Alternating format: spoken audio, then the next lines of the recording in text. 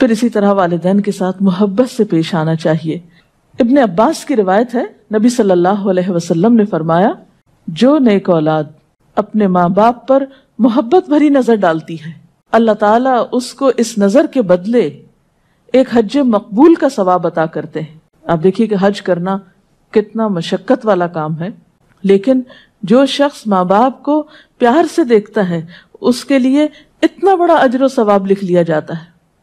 لوگوں نے پوچھا اللہ کے رسول صلی اللہ علیہ وسلم، اگر کوئی شخص دن میں سو بار ایسا کرے یعنی سو بار محبت سے دیکھے، تو آپ نے فرمایا جی ہاں اگر کوئی سو بار بھی دیکھے، تب بھی اللہ بالکل پاک ہے۔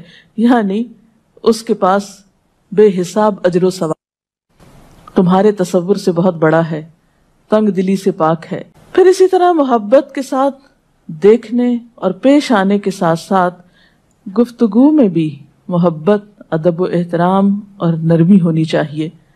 قرآن پاک میں خاص طور پر تلقین کی گئی، فلا تقل ہوما افن اولا تنہر ہوما ماں باپ کو اف تک نہ کہو یعنی اگر کوئی بات ان کی ناگوار گزرتی ہے تمہیں ناپسند آتی ہے، تو جواب میں اف نہ کہو اور نہ ہی ان سے جھڑک کر بات کرو، بلکہ اس کے برعکس نرمی سے گفتگو کرنی چاہیے۔